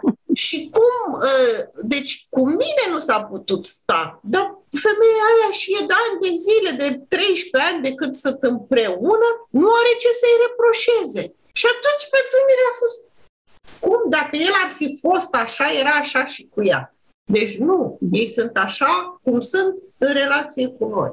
Iau forma interiorului nostru. Da. Exact. Atragem da. exact ce avem nevoie să scoată din noi cei mai, exact. cei mai urât ca să da. ne vindecăm sufletul. Da, și vă, adică fetele știu povestea mea, am venit de acasă cu atât de multă furie pe mama și pe tata, încât Normal că am, am uh, dat numai venin pe, pe gură și pe nas. Adică tu te regăsești cumva în, uh, în Mihaela, în povestea Da. ei, nu? Da, da, da, da. Da, da. Deci, Mihaela, vezi, vezi că situațiile sunt uh, la foarte multe, în foarte multe relații. Problema este doar la noi femeile. Când ai să înțelegi că doar, doar tu trebuie să faci schimbare cu tine. Atunci se vor schimba Și lucrurile. uh, ce am înțeles eu foarte profund, că nu există doi oameni pe pământ, există eu și Dumnezeu. Eu merg pe stradă, ei, atâtea forme a interiorului meu, câți oameni sunt pe stradă, intru o relație, într-o relație. Păi soțul e forma interiorului meu. Sub acea mască îi Dumnezeu. Și el obligat va lua forma exact cum se eu în adânc. Că mi se pare mie că e defect, că uh, asta e, pentru că avem ochi, că dacă nu am avea ochi spre noi, am vedea și ei noi și acceptând ar fi foarte simplu. Și Da, dar Adică pe înțelesul lui, lui Mihaela, că dacă eu îmi urăsc tatăl, eu inconștient trimit ura asta și față de bărbatul care l-am în fața mea. și față de copil, și față Și de față de prieten. copil, absolut. față de pre... Nu, adică ura aceea nu, nu am cum. Gândiți-vă că nu, eu nu pot să o dozez, e doar pentru tata. Ura e în mine. Da, și imediat încep. Pf, Și atunci bărbatul ăla inconștient o simte și de aia te respinge, pentru că simte ura aceea că îl lovește ca un bumerang. Și el de aia spune că nu poate sta lângă tine. Ura, ura care o ai față de tata, o ai față de toți bărbații din lumea asta. Și având ura față de toți bărbați, avem ura față de Dumnezeu. Eu când am înțeles, deci dacă urăști pe tata, că, de exemplu că bea, urăști toți bărbații de pe planetă care beau, îți dai seama și, și de click pe semn noi, Și îl urâm pe Dumnezeu, de fapt. da. Și Nu, tu el ești nu conștient mai- ura asta să duci spre, spre băiat. Zi, zi, Mihaela. Nu, el nu mai bea, nu mai el este oricum și paralizat la pas și își dă seama pentru câte mi-a făcut, adică și nici măcar copilul nu poate uita. Eu am ajuns cu copilul după ce am divorțat, avea trei luni. Și mă bătea foarte urât de față cu copilul. Păi odată s-a urcat pe mine și pur și simplu am făcut pe mine atunci de... Da, și de frică, de... Și plus că mă bătea foarte urât de față cu el, vrea să mă Bine te omoare. Bătea, bătea ego Eu din am tine. trăit Știi ce interesant? Uh, Ego, bă. Mihaela, scuze, Mihaela, în exterior, este o fată foarte blândă. Da. Deci este, este o, un, exemplu, un exemplu frumos de femeie. Dar ca să vezi ce fac tiparele din interiorul nostru. da.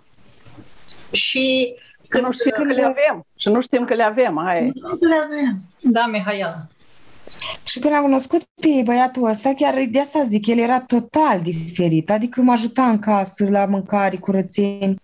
Noi ne-am certat doar când am plecat la muncă amândoi. Nu știu, ne-am dat seama că nu putem munci la un loc de, la lucru, așa, să avem un loc de muncă la fel. Nu putem, nu, nu ne puteam înțelege la un loc de muncă, dar în general sau acasă, ieșeam, ne plimbam, era parcă simțeam că e așa, la fel ca mine. Și tocmai că asta, știți, nu pot eu să înțeleg și nu pot să, nu pot să accept. Probabil. Adică dacă, și dacă se enerva, stilul lui parcă când se enerva, era ca mine și l-acceptam, chiar l-am acceptat așa, cu toate, cu, adică pleca, dacă îl supăram cu ceva, pleca. Parcă mă vedeam pe mine, cum făceam eu. Mie, dacă nu-mi convenea ceva înainte, eu îmi luam bagajul și plecam. Așa eram, într-adevăr. Și eu l-am acceptat așa cu toate și explicam, uite, și eu eram așa înainte, uite, făceam așa sau... Știți, doar că acolo, în Germania, ne-am mai fost certați sau ne-am... Și când ne-am zis că vin acasă, că simt că nu, copilul, dacă mai rămân acolo, o să-l pierd. Așa i-am zis, așa simțeam. Chiar mi-a zis, du-te acasă că ar fi mai bine, că Vezi, și așa ai stat aici și nu ne-am înțeles deloc, nu ne-am suportat, nu pot să înțeleg nici eu ce s-a întâmplat din nou. Oricând ai vrut tu să asculți de mine, îmi zicea că să mă înțelegi Exact. cum e aici, că era diferit locul de muncă de acolo și în agricultură, cu șefii de acolo, atât de dificil, acolo pur și simplu erai sclav. Nu, adevărul că nu se compară cu munca de aici, în străinătate. În... Și după aia am realizat, i-am zis, da, probabil că n-am vrut să te ascult și pe tine, nu știu, n-am putut să te înțeleg la ce vrei să-mi zici. Că poți să el probabil că vrea să mă țină cât mai mult acolo, să stăm, să ne îndeplinim că aveam un vis, ca să zic așa. Și apoi când am aflat cu sarcina și că am văzut că nu mă simt bine, și adică orice, dacă eu gândeam ceva, el îmi zicea. Eram așa, de, deci atât de compatibil. Era, nu știu, exact ca mine, pot să zic, era și niciodată nu mi-am început. Dar erai tu, uh. erai tu în el, deci tu trăiai prin el, acele tipare care le... Da, dar n-am mai avut așa, nu, nicio relație cum era el, nu, niciodată, nu. Deci nu m-a ajutat nimeni să știi să facă mâncare, curățenii sau să fie lângă mine sau să gândim la fel chiar fiecare secundă. Nu mai da. fost nicio relație așa ca da. el. Deci, uh, când vei înțelege că cel de lângă mine nu este un el sau o ea, e însăși Dumnezeu, da? Și dacă Dumnezeu alege, ok, să, uite ce frumos era că mă înțelegeam, ok, Dumnezeu mi-a dat un repaus, da? Uh, și uite, acum îmi spune că nu poate să stea lângă mine. Ok, Dumnezeu mă corectează. Punct. Nu e el care mă corectează și uite, mie nu mai dă și mai, mai, mai. Nu, opa, Dumnezeu mă corectează. Deci eu am ceva de corectat la mine și dacă stau puțin să mă uit în urmă, uh, nu știu cât l-ai ascultat pe Marius sau cât uh, vorbește despre ego femei. Unul dintre uh, uh, aspectele ego-ului este chiar acela pe care deja l-ai spus eu nu pot să mă uit la tata acum, chiar dacă este paralizat. Îți dai seama ce împietrire de inimă uh, poate uh, avea o femeie care, uh, da, e tatăl meu, m-a bătut, ok, m-a, dar eu acum sunt uh, majoră, uh, sunt la maturitate, sunt și eu mamă și eu nu uh, mă uit la tata fără niciun pic de compasiune, fără iubire. Deci da, asta este ego. Cum? Când m-a bătut, eu eram deja mamă. Aveam păi, da. copilul da. care, da. care asistă la da. tot. Adică și mă vedeam, îl vedeam pe copilul meu cum se uita la Da, da, la uite, mine. acum ești în povestea ego-ului. Deci uh, Dumnezeu a decis, uite să se mă încalece și să mă bată. Dumnezeu mă, mă bate. Dumnezeu mă bate. Pot, pot să accepti că Dumnezeu te bate? Nu. Știți, cum? Băiatul... Cum așa? Da, el, băiatul ăsta tot uh, mă ruga ultima perioadă, du-te la tata tău, vorbești cu el, dar nu vroiam să, i că nu. Păi da, e inima împietrită și tocmai asta vrea Dumnezeu la noi, să ne deschidem inima și dacă noi putem iubi urâtul, adică pe cel care m-a bătut, care e tatăl meu. Dar știți, nici eu nu pot să mă apropii. Am încercat mereu eu să iert și să mă apropii de ei. Da, să mă pentru că e inima Așa, păi nu. Și nu-mi dau voie ei, înțelegeți? Acum păi, copilul mai nou a început să se ducă, nici pe copil nu-l mai vroiau. Și Uite, el chiar la te un pic. Da. Gândește, deci poți să spui că îl iubești pe tatăl tău, acum nu e tatăl tău lângă tine.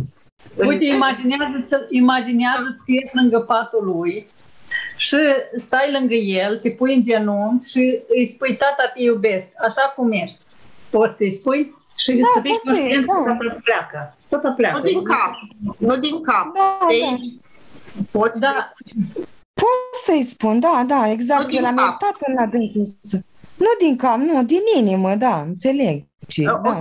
deci ceilalți când, eu iar revin la propria mea experiență, ceilalți când mă resping e de fapt că eu nu sunt în regulă cu chestiile astea. Deci ei într-adevăr iau forma interiorului meu și eu pot să spun da, am, am iertat, ă, dar dacă în fapt nu se petrece, adică ăsta este cuantificatorul meu. Când îl văd pe ăla cum se comportă cu mine, ăla e, aceea e realitatea din interior. Până te duci la tata, să faci un experiment. Până te duci la tata, când stai tu cu tine în liniște, cred că noaptea e cel mai, adică seara, să-ți imaginezi că ești lângă el și îi spui, tata, te iubesc, și să-l îmbrățișezi energetic. Să faci lucrul ăsta de câte ori poți și când te duci înapoi, când e să, nu, nu știu, e să simți tu să te duci la el, atunci să vezi cum îl vezi pe tata Pentru că toate disfuncționalitățile astea cu partenerii e doar din relația cu tata. Când ai să vindici relația cu tata, atunci viața ta se va schimba. Până atunci și nu uita că ești 100 responsabil pentru că de toate aceste neacceptări le-ai transmis la băiat și la copilul ăsta care vine. Mai mult decât atât, mi se pare o chestie care ar trebui să o înțeleagă Mihaela. Nimeni nu a greșit, deci tata nu a făcut că, când e vorba că iert, ce să iert? Că tata nu a făcut decât să execute ordinul lui Dumnezeu. Exact. Deci nu am ce să iert, tata nu a greșit. Atunci ce să iert? Să înțeleg că acolo Dumnezeu așa a acționat ca să o corecteze pe mama ca să mă corecteze pe mine și atât. Deci nu au greșit tata, că eu dacă vreau să-l iert, durează un secol ca să, să apuc eu să accept să-l iert. Nu, deci nu au greșit. Și atunci ce să iert?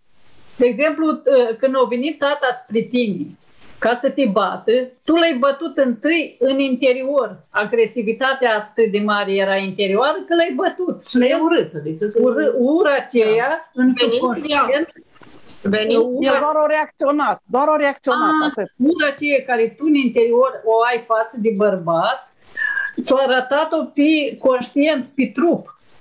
Îți dai seama? Deci prima dată l-am bătut noi pe bărbat, Exact. noi l-am bătut pe tata și după aceea au venit el și ne-a dat. Uh, L-am ucis chiar, nu că l-am bătut, l-am L-am ucis. agresat, ca să nu înțelegi că nu că l-am, nu, că l-am bătut. L-am agresat eu Dar, întâi. nu, dar, dar eu nu aveam o ură, asta nu, știți? Vreau ca să... Da, Aia da. era ura din programul mamei. Știți? Ura din programul Ura ai mamei era. spus. și din A, ura. Pentru că foarte, de foarte multe ori și când era narcis mic, avea 2, 3, 4 ani, mă dădea afară din casă, adică și nu mă primea toată noaptea. Nu conta dacă aveam sau unde să dorm. Da, sunt programe uh, și de la mamă, dar venim cu ele din vieța anterioare. Și din alte vieți. Știți, Este- asta e nu pot să... Adică care ură sau cum ei ca părinți, așa am stat totdeauna și m-am gândit, Nu chiar sunt nu părinți. conta, dar eu atunci puteam să mă duc să, Iubita, și eu, și eu am dormit... să în nebunesc popușoi. atunci. Auzi, ascultă o leacă pe Elena. Auzi, și eu am dormit prin popușoi alungată de tata, prin căpița cu fân, te înțeleg perfect. Să nu crezi că eu, noi am avut o viață ușoară și acum îți dăm sfaturi. Da, da. Deci și eu la fel, Da. Erau momente când îmi doream să pur și simplu să mă duc undeva să stau într-un, într-un bordei de pământ, numai să nu mai aud gălăgia. Dar era problema că noi eram fete, tata era singur și noi am primit programul de la, la mama și îl agresam. Nu era el problema și mie mi-a trebuit mult timp să înțeleg. Foarte mult timp, să știi, foarte mult timp. Și uite, îți mai spun ceva din, din viața mea.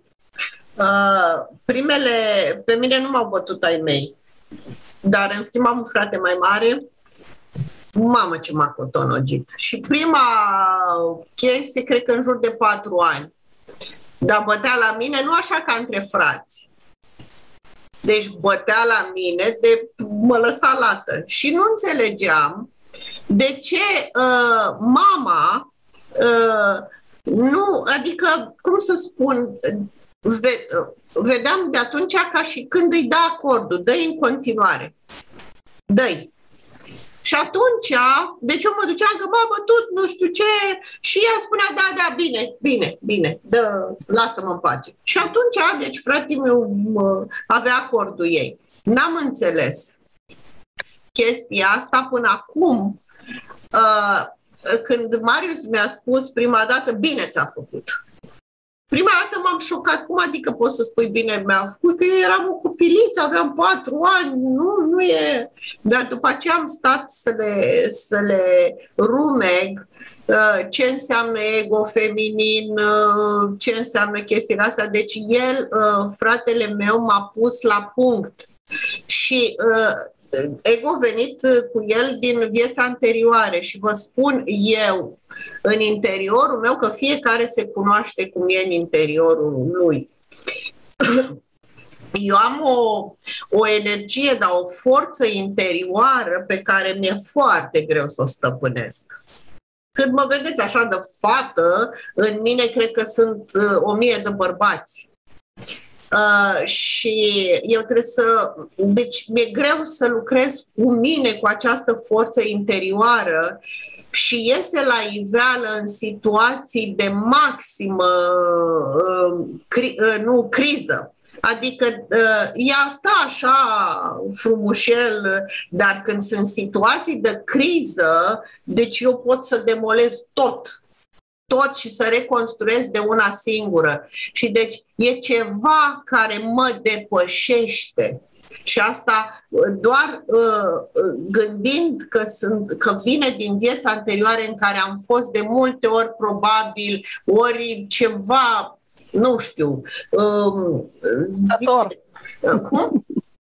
Un luptător, un războinic. Probabil, ră, luptător, războinic, ceva, pentru că este o forță care mă depășește. Ei, dacă stau acum să mă gândesc că eu în, în această viață sunt femeie, păi e nevoie de forța aia? Nu. Decât trebuie să vină cineva din afară și să mă pună la locul meu ca această forță eu să o transform în iubire, în acceptare, că altfel eu distrug tot. Și a fost un exemplu, vi-l dau, am primit uh, o mașină de spălat și fiind la curte, fratele meu s-a dus să aducă niște chingi, da, să o ridicăm. Uh, și eu am zis, ce să-l mai aștept? Dom'le, am luat mașina aia, cât mă vedeți, m-ați văzut că sunt mare, am luat mașina aia pe sus și am mutat-o, nu știu, vreo 3 metri, când a venit fratele meu care are 2 metri, a zis, ferească, Dumnezeu, n-am văzut așa ceva. Deci, de unde e forța aia? De unde? E din da. interiorul meu care atunci când vine un eveniment către ea, iese la suprafață, deci eu pot să nu știu ce, dacă o pun în act, ferească Dumnezeu. Deci așa am înțeles cum lucrează uh, ego-ul și cum e, uh, e ciclul acesta când cineva trebuie să te ușurel, ușurel, ușurel și te interioară. Dar eu știți, cred că fiecare din noi, când ai povestit de energie, exact așa am simțit și eu. Deci noi avem o energie foarte mare. Da. În schimb, în momentul când noi înțelegem și să o canalizăm spre un lucru bun, atunci lucrurile atât de frumos se schimbă. Deci exact. Deci am, da, avem am... nevoie să ne, ne pună cineva la punct, altfel prăpăd. De vreo două ori am simțit că pot să țin lumea în palmă. Exact. Mi-am dat seama cât suntem de puternici și noi nici nu ne dăm seama deci nu prea are logică când tu ai fost bătut și pe din afară zici de ce eu și când îți dai și când înțelegi, deci trebuie un timp, Mihaela, ca să înțelegi toate lucrurile astea. Da. Când înțelegi că de fapt celălalt a venit întâi, l-am bătut eu pe el și acum pur și simplu el a venit și ne-a... Plata, a venit plata. El a venit, într-un cuvânt, el s-a apărat. Și noi pe conștient nu înțelegem treaba asta. Deci tu, da. ai, tu ai o plângere, dar de fapt prima dată l-ai bătut tu pe el. Care mai e? Și gândește-te că nici la ora actuală, fiind în pat, după atâta bătaie cât s-o dat și din partea lui mama și din partea ta, el e la pat și nici acu- și acum te simți victimă. Uh-huh. Pentru că nu are înțelegerea. Așa, da, asta, nu are da. înțelegerea. Nu că, ai... de fapt, în altă viață, exact așa ai făcut tu cu tatăl tău. Da. Atunci a venit plata karmică acum, știi? Și dacă eu nu înțeleg că e o plată karmică și eu tot stau și-l urăsc, uh, disfințez uh, bărbații. Adică ei uh, nu-mi dau seama că îmi distrug viața copilului meu, dar în primul rând, viitorul. în primul și în primul rând, copilul. Închid un pic, uh, închid un pic microfonul și răspunde. Nu mă ascult. Da, da, da. Da, cumva au rămas bulversat, așa. Da, nu sigur, e ușor da. să înțeleg. Nu e ușor. Nu, nu e ușor, nu e... Bulversare mare, dar încet, încet o să, o să se așeze. De-aia am și vrut să, să discutăm împreună cu el. Nu e ușor pentru noi care ascultăm da. de timp. Și... Da. Știm atâtea și încă, încă îmi dau, eu cel puțin îmi dau niște înțelesuri, dar până la pus în practică, wow! da, e... Mi-a trebuie mult timp să înțeleg că bărbatul e cerul. Acum altfel, vai lei, dar înainte ieșea așa, chiar ieșea o dată la o lună sau la trei luni, dar gata, uitam tot, nu mai desfințam. Oana, dar știi de ce gre- cred că ne este mai greu? Eu văd și la mine. Deci cumva n-am suferit suficient de mult ca să, să, să facem saltul foarte mare.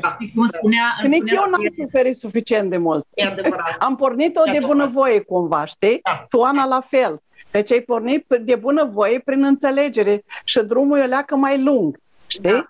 Dar dacă sufeream de ne punea la pământ, atunci uh, era mai rapidă schimbarea. Da. Eu Eu- văd și la mine tot așa, deci e lentă pentru că am făcut-o de bunăvoie. Da, din înțelegere. Da. Îmi spunea o prietenă că până nu, eu stau, până nu să-ți rod cornițele, n-ai să... și a avut dreptate, pentru că eu m-am comportat chiar ca un taur în viață. Da. Adică eu mă regăsesc în tine, Ioana, uh, exact tot așa de vulcanică sunt și eu, tot uh, Da. exact genul tău. Știți ce? Vreau să mai zic că frații mei, chiar dacă aparent par că au, numai unul a fost divorțat, și aparent par că au familii fericite, au copii, uh, ei foarte tare iubeau, știți, tot au o problemă, adică tăticul a fost agresiv foarte și cu ei toți, adică nu că a Acolo e fost de la doar cu ei. mama. Acolo e de la mama.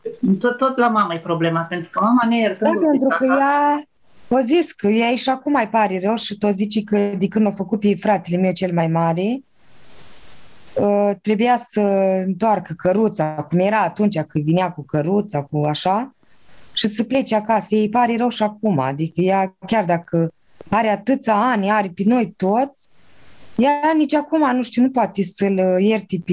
Mihaela, ea nu înțelege. Ea nu înțelege, dar tu începi să înțelegi. Ea n-are cum, nu, nu, nu poate să înțeleagă lucrurile și schimbarea nu poate să se facă în ea. Dar tu poți să schimbi situația. Poți să nu A fost înțelegi. cu ea, a fost cu ea și la un preot, cum mai mergeam eu, la, este un părinte la Berchișești. Mhm. Și-a făcut preotul în așa fel încât, probabil ca să o văd eu pe ea, că nici răbdare nu are. Deci nu mai puteai... Deci preotul nu a vrut să o vorbească cu ea absolut deloc. Și-o dat seama că e, că e foarte încărcată. Că e... Și ce a spus preotul? Preotul atunci am, eu m-am dus ca să zic de tăticul cu, cu situația lui și a zis că până nu va posti și uh, nu va ține regim, nu-și va reveni. Și el nu vrea să țină nici regim, nici nimica. Deci Da, el este înseamnă că atât tot de- în tata au văzut dușmanul, nu în, uh, așa zisul dușman, mă rog. Dar cu mama de ce nu a vrut să stea de vorbă? Nu, E nu, frică. deci atât au pus-o la încercare ca să vadă că să văd eu probabil că n-are răbdare, că mamica deja era transpirată toată și nervoasă când transmitea mie deja, eu nu eram, a- nu eram nervoasă, am transmitea mie o stare că deja mi se făcea rău, nu mai aveam nici eu răbdare. Deci eu vreau să-mi arate preotul că cum, de fapt, îi, știți că răbdarea de unde, că Adică eu aș fi avut răbdare, că am avut mereu, că de, cât de foarte multe ori, dar Poate, nu mama, mai la poate el. părintele i-a spus ceva ce nu i-a convenit mamei și de asta s-o... Nu, dar nu vorbi cu ea. Nu, nu, nici nu a vrut să vorbească. Adică ea era acolo, mine, nici ea nu s-a dus la preot, dar preotul, fiind cu har, de obicei vorbește cu oameni, cu oricine, sau să duce el la, să duce el la pre- oameni, știți? La fiecare în parte. Dar la ea nici măcar nu a vrut să o vadă, nu știu, așa simțeam că nu, nici nu se uita la ea. Era așa, nu știu de ce. E de același tip de respingere care îl dă și eu îl am de la mamă și tot așa. E, e, și dacă îl dăm și noi mai departe copiilor noștri, dacă noi nu iubim orice, orice pe oricine, în orice condiții. Ultima dată, eu m-am certat cu ei, m-am certat. Eu nu pot să zic că e ceartă, eu m-am îndepărtat de ei pentru că mi-era mai mult poate teama aia ca să nu mă pună să fac chiar întreruperi, chiar dacă aș sta sau nu cu băiatul ăsta. Cum mi-au zis că la Narcis, na, la copilul care l-am deja, mă pus să fac întreruperea. Și eu nu am vrut. Și m-am îndepărtat de ei. Și acum tot așa am făcut și ei erau nervoși pe frații mei, adică nu pe mine. Și s-au răzbunat pe mine, cum de fapt așa au făcut mereu. Știți, chiar dacă n-am fost eu vinovată cu ceva, într-un mod, sau n-am avut eu față de ei o... Știți? Mihaela, deci tu nu ești vinovată. Mai. Știți? Tu conții tu nu programele ești, mame. Nu ești vinovată, Mihaela. Programele mame doar. Și aici dacă îți înțelegi că bă, programele mamei sunt pe tine, de ură față de bărbați, chiar dacă tu nu, nu te comporți în exterior, dar programele în interior le conții. Și dacă conștientizezi că sunt doar niște programe care le conții, le dai voie să se elibereze. Fetele mai sunt doar Da. 5 minute ca să uh, uh, niște concluzii, că deja s-au dus două ore.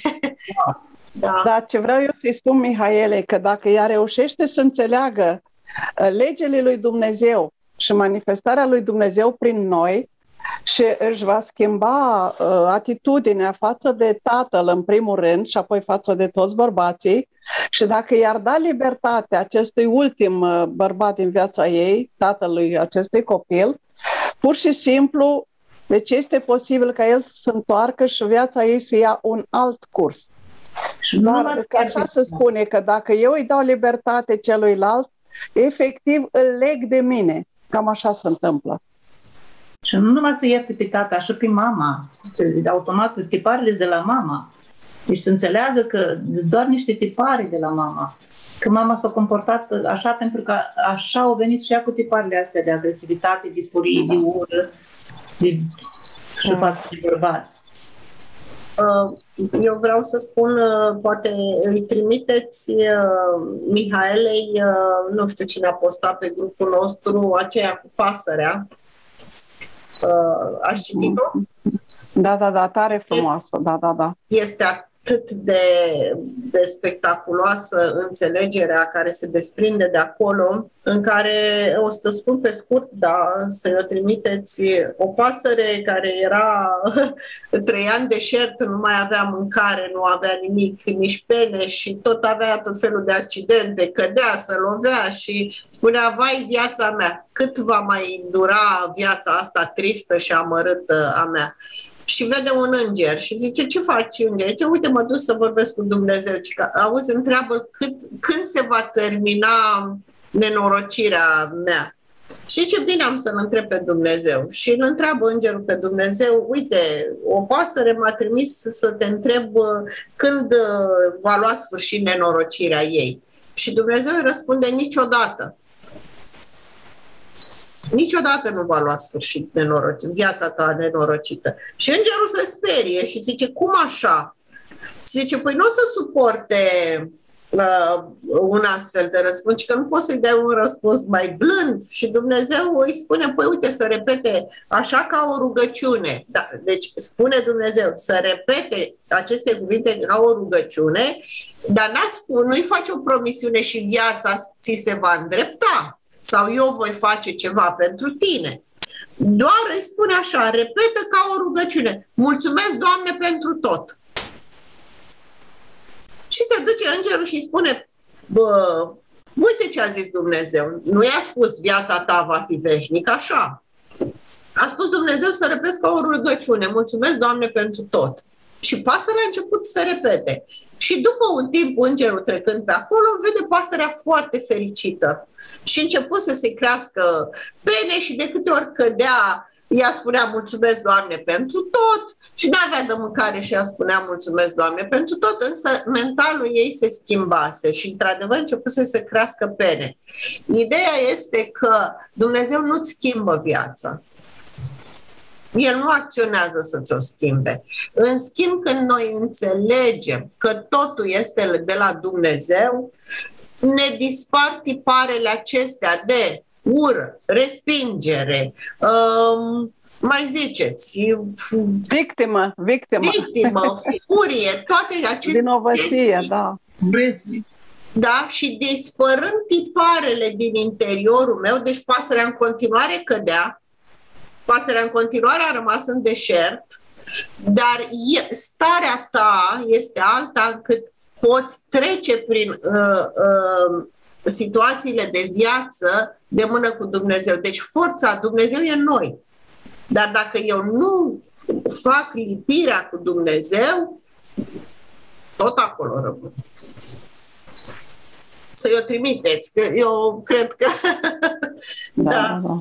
Mulțumesc, Doamne, pentru tot. da, Elena. Eu ce-aș, ce-aș putea să, să spun aici, ea spunându-și povestea ei și tot cumva e nedumerită, ne dăm, îmi dau seama că și în mine încă da. mai există nedumeriri, încă mai există acea furie pitată, Poate, da. încă mai există acele nemulțumiri față de partener. Deci ea încă ne arată acele dezechilibre care există în noi. Da.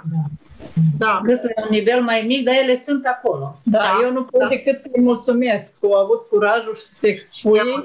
Asta e un pas foarte important pentru, doar pentru tine, ca să înțelegi și alegerea e doar la tine. Da, da. Mulțumesc frumos. Mulțumesc și eu. de tot. Mulțumim și noi. Mulțumim. O zi frumoasă să avem cu toatele și eu m-am regăsit foarte mult și cum spunea uh, Marius, că îi spunea un profesor, de câte ori repetăm, poate le înțelegem și noi mai bine. Înțelegem și noi mai bine. Poate da. intră mai adânc acolo. Da, la un alt uh, nivel. Mulțumim, mulțumim Marius. Mulțumim, mulțumim Marius, mulțumim Doamne, mulțumim Doamne pentru tot. Da, la revedere, ne auzim. Da, da, da, da. O să da, mai, da, Mihaela, să vedem după un timp ce s-a mai schimbat. Da, da, da. Cum uh, înțelegerea da. unde s-a, s-a dus. Zi frumoasă, da, mai bine! Mas isso, mano, a, a, a,